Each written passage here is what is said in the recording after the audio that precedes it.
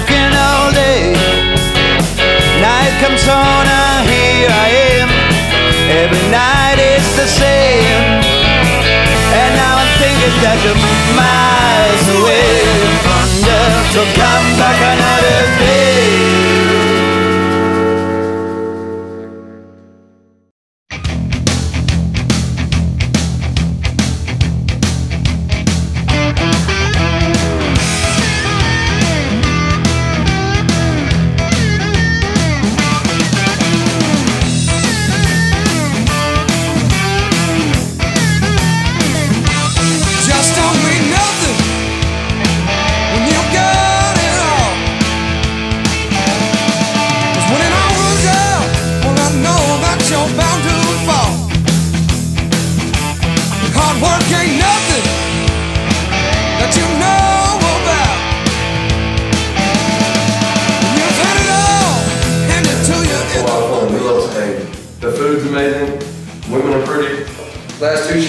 Last night and out really good. So. More respect. You guys give us more respect.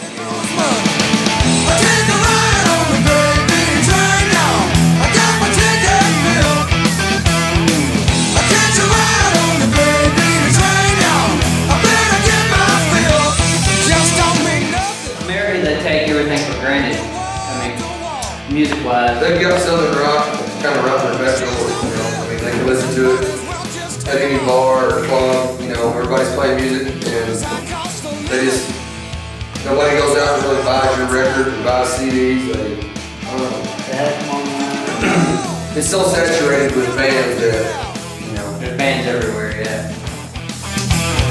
A silver spoon in your mouth when you're hungry. I need a tree in my yard that grows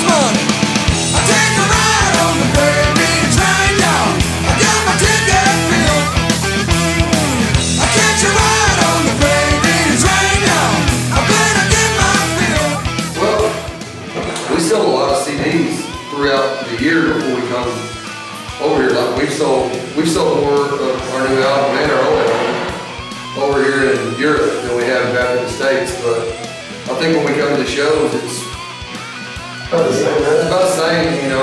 I have, I have a steady, we have a steady flow of CDs going on, especially in Europe. I think it has a lot to do with if the shirt's cool, people will buy it no matter, you know, what, so. I mean, yeah.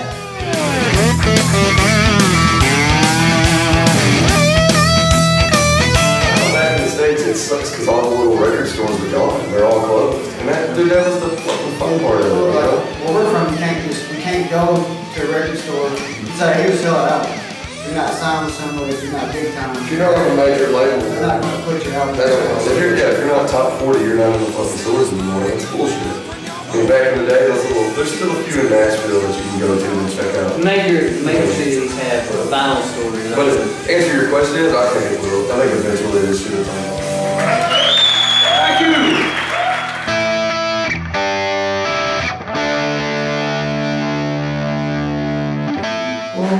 We make money on that. We still we sell quite a bit on iTunes. I mean, we think we're on iTunes, Spotify, Amazon. Uh, It helps. I mean, it, it's.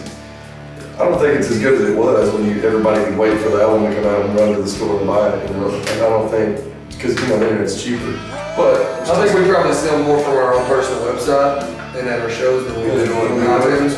it's definitely profitable. I mean, if you want to make money these days in, in, the, in the rock and roll business, you have to be online. You have to adapt to Yeah, whatever. there, there- there's uh, what's that new thing? Kickstarter. There's a Kickstarter out there, and a lot of bands are going going to that. You know, where they give little things for so much money that you pledge, and you get early releases of songs and stuff. Yeah, basically, your fans make donations that pay for the, you know, your favorite band's next album. If album. they want to hear your new album, they're gonna. Well, he's saying sometimes the road you walk ain't easy.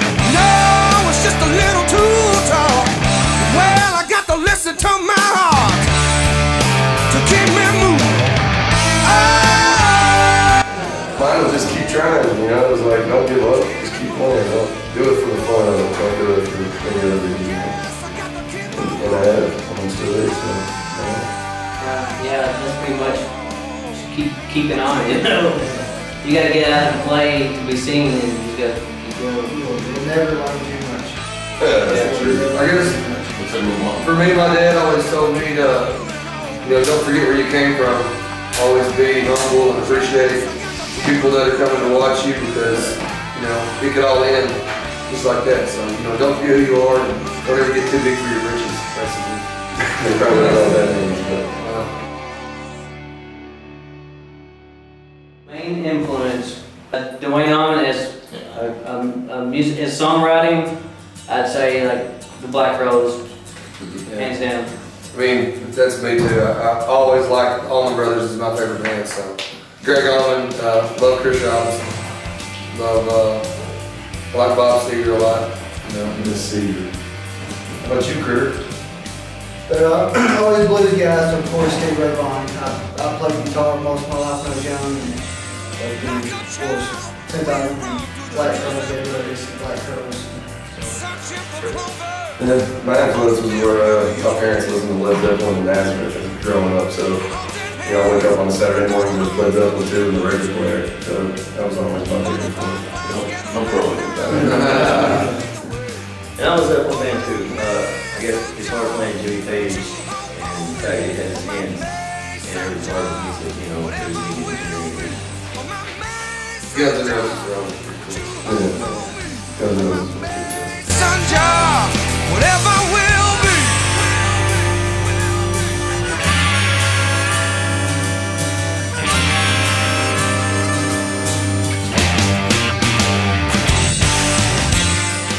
like Joe Cocker. Um, I'm still gonna say Joe Cocker or Gregg Allman, but Gregg Allman in his 20s, you know, in, in, in his 20s, not that bad. Go ahead, Kurt. Drum Coalition, uh, Chris Lake. yeah, Chris Lake, for sure. I'd have to use uh, Zeppelin bass player. I always want to say, I know Uh, John Paul Jones. John Paul Jones, there you. John Paul Jones, but he's amazing.